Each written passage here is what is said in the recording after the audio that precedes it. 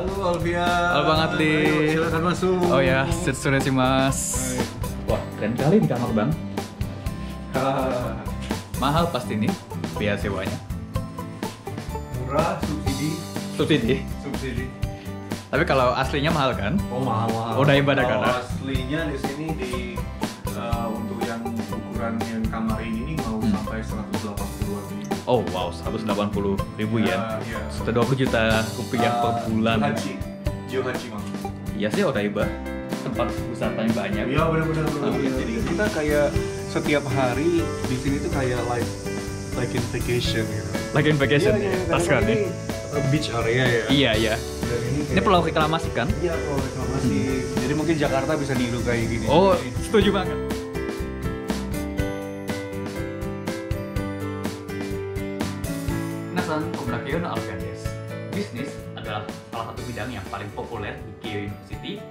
Telah saya sebutkan di video sebelumnya, alumni Keio termasuk ribuan CEO dari perusahaan-perusahaan ternama di Jepang. Dan pendiri Universitas Keio, Yukichi Fukuzawa Sensei, yang teman-teman bisa lihat di pecahan 10.000 yen, beliau juga merupakan seorang entrepreneur, pengusaha semasa hidup beliau. Jadi, seperti apa sih belajar bisnis di Keio University? Mari kita berbincang-bincang dengan salah seorang mahasiswa bisnis di Keio, Bang Haji, konnichiwa. Konnichiwa. Apa kabar nih selama pandemi ini? Eh, baik dan masih stay at home. Masih ya, betul ya. Oke. Pertama, terima kasih sudah menyempatkan waktu untuk saya wawancarai di kediaman Bang Haji yang nyaman ini. Selamat datang di Odaiba. Terima kasih. Ya, pertama-tama bisa tolong kenalkan diri ke teman-teman pemuda Keio. Oke, halo teman-teman pemuda KU semua, nama saya Aji. Saya kuliah di KU University, tepatnya di program Master's Degree in Taxation Policy and Management, dan asal saya dari Medan. Bang? Iya, dari Horas. Horas, Horas. Horas, Horas. Oke, eh, Abang Adli dari masuk Keio lewat jalur itu ya, World Bank Scholarship. Ya, kebetulan saya dapat beasiswa dari World Bank, tepatnya namanya uh, Join Japan World Bank Graduate Scholarship Program. Mhm. Ya. Bisa tolong ceritakan tentang program scholarship ini? Jadi sebenarnya kalau scholarship ini kan eh, dari namanya aja ya kita isi ya namanya JJWBGSP itu Join Japan World Bank Graduate Scholarship Program. Nah dananya itu bersumber dari pemerintah Jepang, Hmm. cuman yang mengelolanya itu dari pihak World Bank. Oh gitu. Mhm. Eh, begitu juga dengan seleksinya. Eh, kebetulan kan saya dari instansi pemerintahan ya. Oh iya. Jadi selain se- seleksi internal dari instansinya tempat saya bekerja, juga ada seleksi dari pihak uh, pemerintah Jepang itu melalui Keio University dan juga ada seleksi juga di pihak Bank. Dan saya dengar program beasiswa ini sangat kompetitif ya. Ya sangat kompetitif ya. Kebetulan ini salah satu program yang sangat seksi ya kalau kita bilang seksi, Seksi, ya. oh, Seksi, oke. seksi di di instansi saya ini salah satu program yang sangat beasiswa yang sangat seksi. Kenapa banyak peminatnya? Banyak peminatnya, tapi yang diterima tuh sedikit, paling cuma Hmm. satu atau dua orang. Nah kebetulan saya proses seleksi itu dimulai dari uh, di Indonesia ya, di Indonesia tuh di instansi pemerintah, di instansi pemerintahannya tempat saya bekerja uh, dari kayak ada puluhan ya, puluhan. Saya juga tahu ya angka tepatnya berapa, puluhan atau ratusan, saya juga nggak tahu. Tapi yang jelas 11 orang itu dipanggil untuk interview. 11 orang. Mm, jadi kita tuh diwajibkan untuk buat tulisan, Mhm. buat tulisan. Ada dua tulisan yang harus saya buat untuk untuk apply di program beasiswa ini. Untuk internal ya, internal Iya. Indonesia. Itu ada dua. Yang pertama itu statement of purpose Iya. dan yang kedua ada short essay. Oke. Nah dari sini diambillah 11 orang ya, Hmm. 11 orang untuk interview dan dari 11 orang yang di interview ini empat yang diproceed ke uh, mengikuti seleksi di Keio University. Ah, Hmm.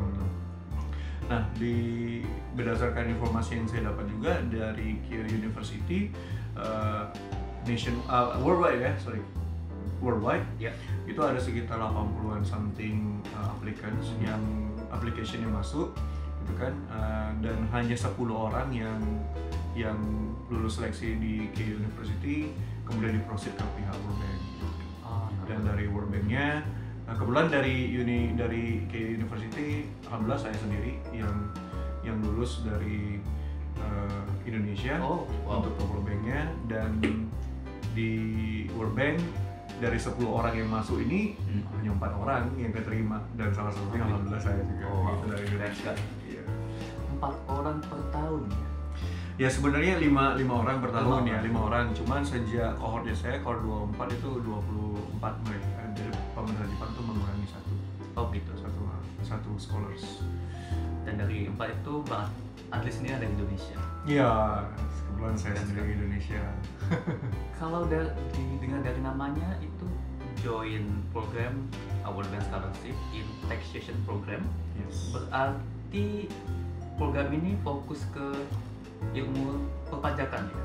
Ya benar benar Alfian. Jadi memang yang saya pelajari di Keio University ini memang total itu mengenai tax, tax terus ada public finance, ada eh, ekonomi.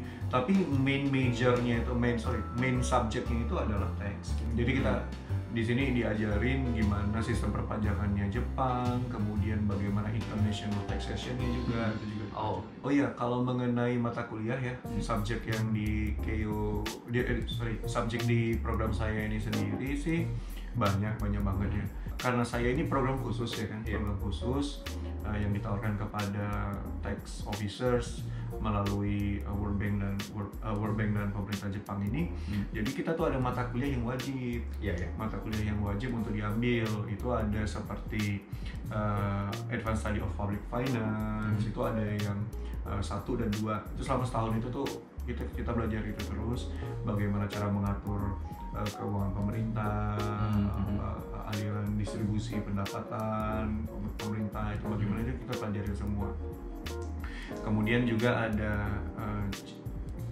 kalau dari pajaknya itu saya pelajari mengenai Japanese economy, kemudian uh, Japanese tax law, kemudian ada juga uh, international tax law ya. Oke. Dan saya juga uh, ikutin dua kelas seminar. Yang pertama seminar Advanced Study of Public Finance, yang kedua ada uh, seminar Advanced Study of uh, Taxation Policy and Management. Hmm. Eh, sorry, taxation taxation and economic policies. Hmm. Ya, terus saya dengar kalau program taxation ini juga ada praktikum di luar KU juga ya. Oh ya ada ada. Jadi kebetulan kan eh, menarik ya. Selain kita itu memang full di kampus ya di tahun Iya. pertama tuh yang totally nggak bisa ngapa-ngapain ya karena tuh belajar dari jam Oh, 9 wow. sampai jam 6 itu Oh, tuh wow, pasti di wow. kampus itu setiap hari saya. Ya ya kemudian ada praktikum eh, dengan pihak NTA National Tax Agency. Hmm. Nah dalam dal- dan praktikum ini dirun oleh National Tax College. Oke, Mhm. semacam standnya ya Jepang. bisa gitulah ya sedikit Oke. mereka juga lah ya nah, kemudian di sini saya juga eh, eh, kesempatan untuk belajar mengenai sistem perpajakan di Jepang Hmm. dan setiap Menarik. itu setiap Senin Ya. jadi setiap Senin kita ke Grips tuh lokasinya di Grips Mhm. di Roppongi Eh, itu gabungan bukan hanya Keio ada Keio kemudian ada Grips students Mhm. kemudian ada Yokohama students jadi kita like around uh, 10% jadi satu kelas kita diajarin gitu. Mhm. dan itu terbagi setiap minggunya terbagi dalam dua sesi kelas. Ada sesi pagi dan sesi uh, siang setelah Oke. lunch. Nah sesi pagi itu biasanya kita dapat materi. Oke. materi mengenai segala perpajakan inilah perpajakan dari Jepang. Kemudian sesi siangnya biasanya kita ada field trip Hmm. Hmm. Field trip, menarik Nah, ini nih di, di nanti nantikan. Jadi field tripnya itu pernah ke uh, tax collection center, kemudian ada tax education, sorry tax centernya uh, di Ue- Ueno Tax Center. Ueno Tax Center, Hmm, oke. Ueno Tax Center. Jadi itu bagus tuh. Jadi mereka tuh buka uh, open class. Uh, udah terjadwal tuh setiap minggunya reguler mulai dari Hmm. anak TK, elementary school Oh, ya wow. sampai SD, SMP, SMA sampai yang udah mahasiswa atau yang umum juga mereka Hmm. provide itu bagus banget bagus. Nah, jadi mau belajar situ. Kemudian kita juga ke Blue Ribbon Association. Jadi kalau ada wajib, jadi bedanya eh, Jepang sama Indonesia. Kalau di sini nih eh, jadi semacam non profit organization yang ngebantu wajib pajaknya. Hmm. Oh gimana nih eh, cara mengisi SPT-nya gitu Iya. ya? Eh, apa? Eh, bagaimana cara mengisi annual return-nya? Iya, gitu. iya. Nah, nah, itu diajarin sama non profit organization-nya free, free of charge. Kemudian ada juga eh, CPTA, Certified Public. eh, CPA ya, Certified Public Accountant. tax accountant tax accountant Uh, oke public tax accountant Ah, Uh, naruto. atau kalau Jepang itu Zerishi gitu ya Oke. Zerishi Association nah itu ada di Osaki. Kantornya bagus banget. Hmm. bagus banget dan besar banget. Nah di situ itulah konsultan pajaknya Hmm. Jepang lah ya uh, yang bersertifikat. Kemudian ya uh, ke mana lagi ya? Uh, field trip terus saya ke Wako kampus di Saitama sana saya Hmm, di Wako kampus ba- bagus. Terus saya juga ke kantor pajaknya Jepang ngelihat-ngelihat ya. Hmm. uh, ke kan kan kanwilnya juga. Itu itu menarik lah. Pokoknya field trip itu yang selalu ditunggu-tunggu setiap minggu. Kenapa? Karena uh, selain Berat sekali. ya. Habis belajar gitu Iya. ya. Itu kesempatan untuk jalan-jalan have situ ya. gitu ya. Karena setelah field trip biasanya kita ada hangout bareng sama teman ya kan nyobain ramen atau apa. Oh menarik, menarik. ya jadi senangnya sih di situ mungkin bagi saya yang paling menarik tuh anak TK diajarin tentang perpajakan menjadi warga negara yang taat pajak. Ya ya kita dan teman-teman pemuda kita juga harus jadi warga negara Indonesia yang taat pajak. Oke. Dan ini sponsornya pajak. Nih boleh boleh. Kalau mau disponsori. Saya terbuka kok. Oke. Eh, di Graduate School of Business and Commerce itu selain perpajakan kan ada bermacam-macam bidang lain kan karena bisnis itu luas Hmm. misalnya manajemen, marketing, terus entrepreneurship dan sebagainya masuk accounting dan finance. Saya juga pernah mengambil beberapa kelas dari Graduate School of Business and Commerce dan Faculty of Business and Commerce. Cuma sejauh ini saya belum pernah mengambil kelas yang masalah taxation. Hmm. Jadi mungkin Bang Adli bisa memperkenalkan beberapa sensei yang bidangnya di taxation ini. Oh iya, jadi kalau yang jelas yang pertama kalau yang pure text itu ada beberapa sensei. Cuman yang kebetulan yang in charge di program saya itu ada satu namanya uh, Ueda Sensei. Ueda sensei. Uh, beliau uh, program koordinatornya uh, JJWBGSP ini. Oh oke. Uh, uh, sekarang nih sejak tahun lalu ya, tahun Hmm. lalu sampai tahun ini, tahun depan juga juga masih beliau ya. Dan kalau yang kita murah sensei itu yang in charge tuh dari dari cohort 1 sampai yang 25 sekarang. Oh, Nice. mm, 25 tahun Jadi kalau kita ada main profesor kita ada dua, yaitu satu uh, Sensei, yang kedua ada kita murah Sensei. Jadi kalau misalkan ini saya kan sekarang lagi nulis nih, nulis tesis nih. oh, nulis tesis Semangat, ya semangat. aduh aduh, aduh, ya biasa lah ya Iya. Uh, jadi konsultasinya tuh ke mereka berdua oh gitu. hmm, approvalnya juga dapat mereka berdua ya alhamdulillah sih outline Hmm. sudah tinggal menulis ya Hmm. menulisnya ini yang sekarang butuh waktu Oke oke. Ya dan kalau kalau uh, kalau kita mau sensei itu kan benar-benar ekonomik banget ya dan Mhm. akademik banget orangnya jadi Oh. memang dari segi dari segi jadi kalau kita buat term paper juga yang presisi kertasnya uh, huruf Mhm. space-nya terus uh, quotation di mana uh, uh, citationnya itu memang benar-benar yang akademik banget Ah. tapi kalau yang satu lagi yang uh, Ueda Sensei Hmm. memang mantan orang pajak kan yang udah Oh, pensiun gitu ya dan kebetulan dia sekarang in charge di program kita dan pengetahuan pajak international terlebih international taxation ya uh, itu bagus banget bagus banget Menarik menarik. ya fruitful fruitful to me lah for me fruitful Oke. for me as a tax officer Oh ya, dan di join program ini bahasa mengatakan pakai bahasa apa, Bang? English Bahasa Inggris. All Full bahasa Inggris. ya English Oh jadi tidak perlu sekolah bahasa terlebih dahulu ya? Enggak, enggak. Cuman memang sebelum saya berangkat uh, untuk self preparation ya. Hmm. Jadi uh, saya tuh sempat ngikutin les bahasa Jepang juga di Hmm. Indonesia sekitar dua bulan ya. Begitu pengumuman di Januari saya lulus, saya langsung les tuh bahasa Jepang. Mhm. Tapi sebenarnya ketika saya di Keio, semua program in English. Cuman ada satu mat makul itu subjek yang namanya Basic Japanese. Oh, itu ada oke. Basic Japanese satu dan dua. Eh, kita diajarin eh, Nihongo mulai percakapan sehari-hari dari angka, huruf, Oh. hiragana, katakana, kanji ya at least 28 kanjis udah tahu lah ya. Oke, oke. Hmm, gitu. Dan ya selebihnya sih mungkin karena gini Alfian, kalau di MITA itu kan banyak siswa foreinernya. Banyak, iya. Hmm. Jadi kayaknya mata kuliah-mata kuliah yang di provide juga kebanyakan yang English.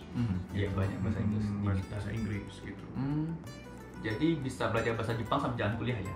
Tidak perlu kelas bahasa terlebih dahulu ya? Iya, tidak perlu, tidak perlu. Oh, jadi dengan itu bisa lulus S2 dua tahun nih?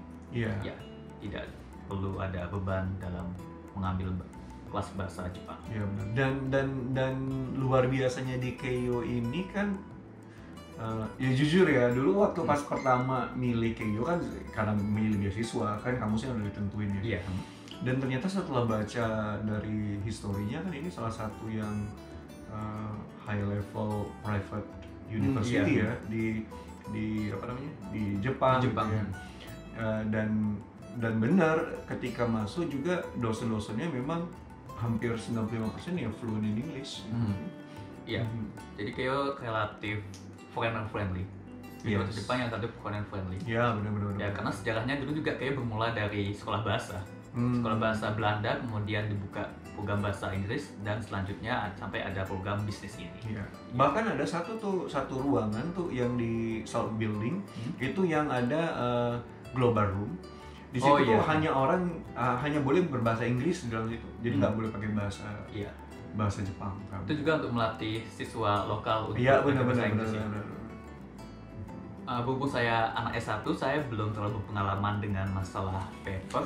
Jadi mungkin saya bisa berkonsultasi dengan Bang Adli. Ini kalau masalah paper nih, uh, kita sama-sama berhubungan dengan dosen orang Jepang kan ya? Iya benar. Kalau dosen orang Jepang ini enak nggak ya diajak berkonsultasi? Bisa minta bocorannya sedikit nggak? Oh iya. Yang jelas kalau konsultasi mereka tuh sangat terbuka. Oh, gitu. Kalau kita mau bertanya itu terbuka. Dan kita bisa enaknya di sini tuh kita nggak harus ketemu langsung. Jadi Hmm. nanya by email itu dijawabnya itu blur, blur, blur, panjang banget. Oh, oke. Jadi eh, sejelas-jelasnya sama aja dengan mungkin kalau misalkan kita ketemu langsung masih ada kayak language distractionnya gitu ya. Tapi kalau misalkan di by email tuh semua mereka memang benar jelas itu mereka uraikan semuanya. Source source-nya juga dimasukin gitu loh. Nah itu asiknya dengan sensei Jepang dan mereka itu eh, berusaha membangkitkan kita untuk mau eh, memberikan opini oh, hmm. Dan itu dan mengeluarkan ide-ide gitu dan menurut saya itu bagus dan itu yang jarang kayaknya saya dapat waktu sekolah di Indonesia gitu ya. Hmm. Kalau di sini memang kita disuruh create your own idea, give give your insight gitu kan ya. Iya, Jadi benar-benar kita inilah benar-benar eh, nambah wawasan dan kalau term paper mereka itu memang di sini kan nggak boleh copy paste ya. Oh iya, Nah itu jangan plagiat. kalau di Jepang itu uh, eh, mungkin sebagian university besar di dunia juga melakukan hal seperti itu ya tapi itu memang nggak boleh copy paste itu nggak boleh terus quotation citation itu Hmm. kita cita- nge-cite dari mana. Nah, itu tuh memang harus benar-benar di apa garis disiplin. uh, secara baik. Dan dan meskipun essay misalkan 1500 kata aja atau 1200 dan itu harus punya alur. Iya, iya. nggak bisa sembarangan langsung ide enggak jadi ada kayak openingnya ada body ada conclusionnya. Nah itu semua memang harus kita penuhi.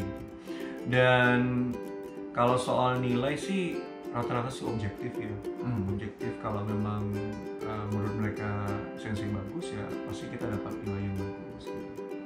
Hebat, hebat. Dan ada pesan yang membekas ya selama hubungan dengan sensei-sensei di Jepang. Oh iya, sebenarnya sih selama pendidikan itu ya jujur aja ya selama pendidikan itu berat karena em, bukan demanding ya, bukan demanding tapi sih berkesan seperti kalau sensei itu demanding tuh setiap minggu ada tugas, ada presentasi, eh, kemudian harus nanti ada kuis mingguan, ada kuis bulanan itu itu ada aja gitu. Pokoknya kita nggak bisa nggak bisa diem, kita harus baca lebih ya. Jadi ada satu kelas itu yang setiap minggu saya harus baca tuh lima artikel. Oh, Dan lima artikel itu yang nggak dikit artikelnya itu yang eh, jurnal yang kayak sekitar 40, 50 halaman, ada yang 20 ya tergantung ya. Dan itu harus dibaca rutin. Karena kalau kita nggak baca Alfian, nanti beliau tuh nanya di depan kelas. Dan kita bisa malu kan. Iya malu. malu. Dan nilai dan itu mempengaruhi nilai kita. Iya benar. Mm-mm. Tapi setelah itu semua sih yang menariknya adalah mereka sensei sensei Jepang ini mereka itu memang melihat kita itu kalau memang kita punya potensi, kita punya skill dan dia s- dan senang sama kita gitu ya. mereka tuh bahkan saya ada dapat dari beberapa sensei yang udah ngemail ke saya Hmm. dan bersedia gitu. Jadi ada sensei yang mengapresiasi selama saya ngikutin kelas dia sampai uh, beliau-beliau itu ngemail ke saya Hmm. setelah selesai setelah selesai kemarin semester 2 ngemail ke Iya. saya bilang uh, if you need any recommendations for your further education kata Hmm. gitu kan saya bersedia untuk memberikan rekomendasi untuk anda wah itu kan Oh, wow. itu rekomendasi loh bro gitu loh dari sensei Jepang ya kan dan mereka itu profesor-profesor dan ahli di bidangnya menawarkan hal seperti itu Hmm. yang saya cuma ngikutin kelasnya yang satu semester tapi kayak kayak tapi mereka seperti udah ada strong bond gitu ya Iya. itu sulit loh ya teman-teman ya itu sulit banget dapatin kayak kita bisa bilang kepercayaan ya Iya, kepercayaan. kepercayaan dari dari Jepang terutama.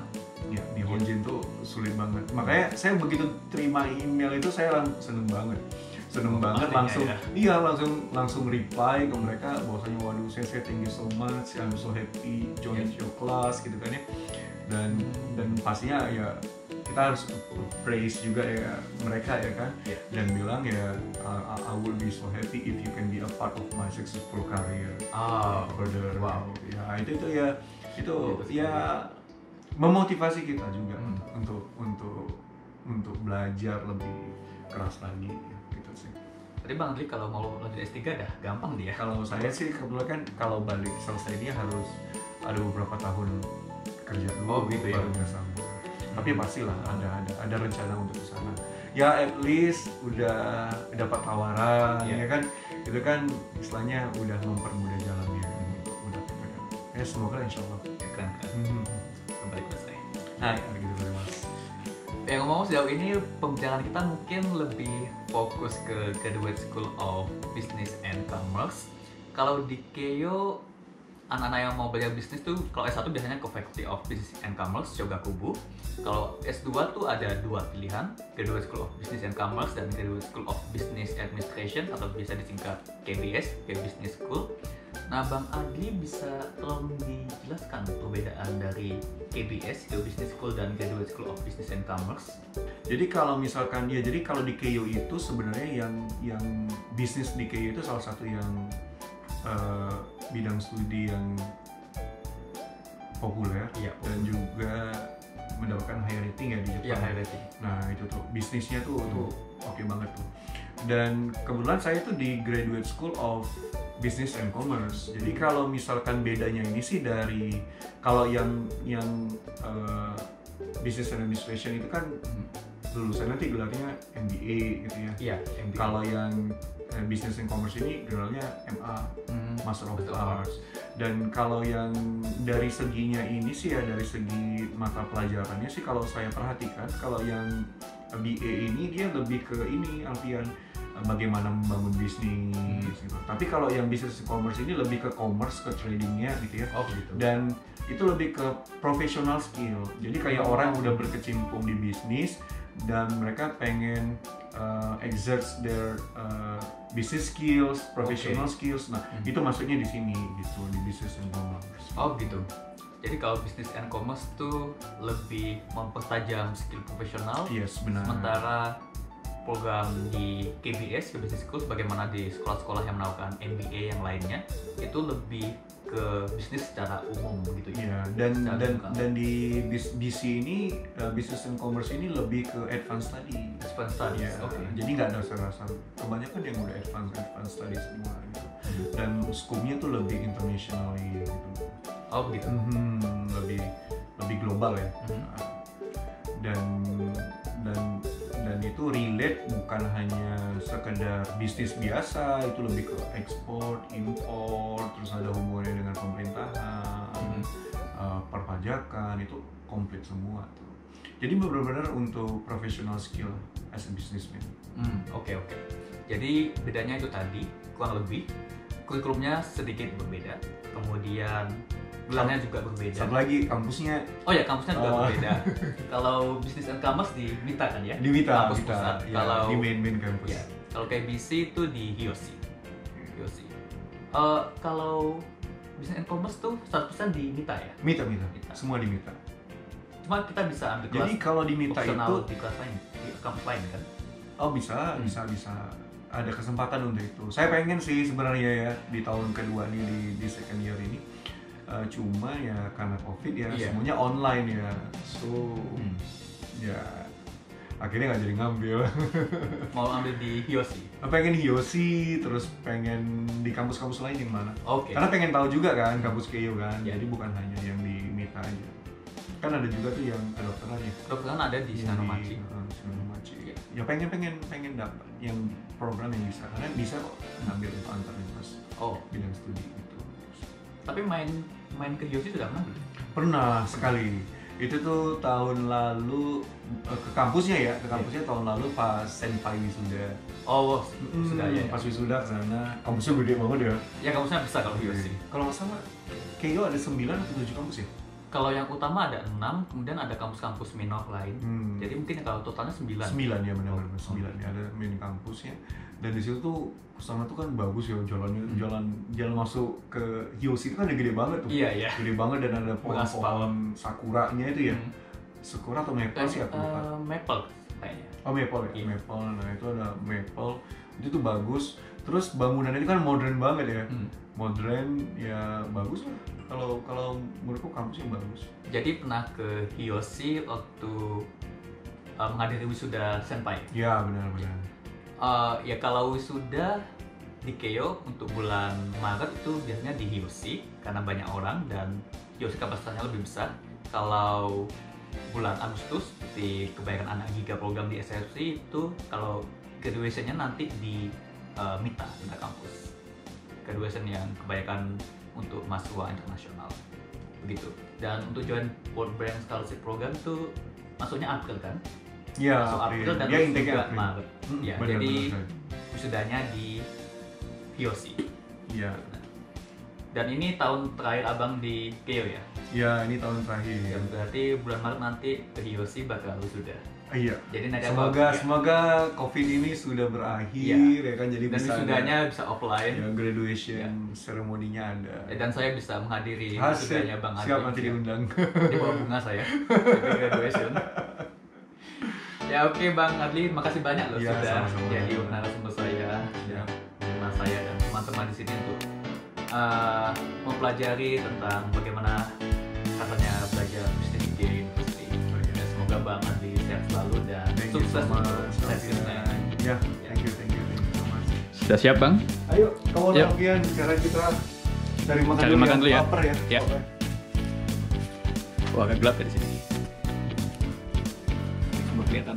Oke teman-teman, terima kasih sudah menonton video kami. Jadi ya, mungkin next time kita bisa lanjut tuh ke Siap. room tuh di kamarnya Bang Adli ini.